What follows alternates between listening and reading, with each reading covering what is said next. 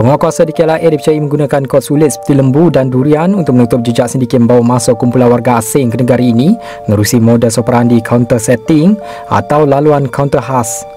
Menurut sumber SPRM, kod lembu merujuk pada pembayaran wang rasuah yang diterima daripada sindiket manakala durian adalah upah kepada pegawai penguatkuasa di kedua-dua terminal KLIA yang bertindak melepaskan kumpulan warga asing.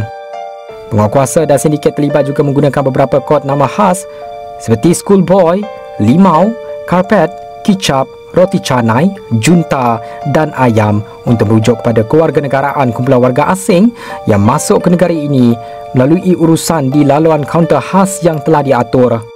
Sumber itu berkata pegawai penguatkuasa terlibat kebanjiran warga asing ni bukan perkara baru kawan-kawan paling maksimum paling drastik setelah COVID-19 2021 ke atas hampir 3 tahun ini kebanjiran warga asing yang kita pelik semua daripada daripada negara China ni berbondong-bondong masuk. Apatah lagi sekarang sudah tak ada visa kepada mereka.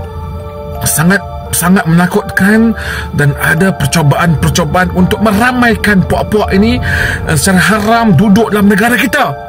Di manakah penguatkuasaan bila berita macam ni berlaku? Kita sekusar Menteri KDN Pudin Poka tolong buat kerja tolong pastikan kalau kalau rakyat dah tak boleh percayakan kamu menteri-menteri Pudin Poka apa nama tu puak-puak menteri-menteri yang begitu apa nama tu lemah dalam penguasaan ini memastikan penguasaan berjalan macam mana kita nak mengharapkan kerajaan Madanon ini boleh menjaga negara?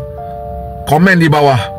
Kamu kamu risau atau tidak kebanjiran orang-orang daripada China ni membanjiri Malaysia. Mereka nak buat apa sebenarnya ya?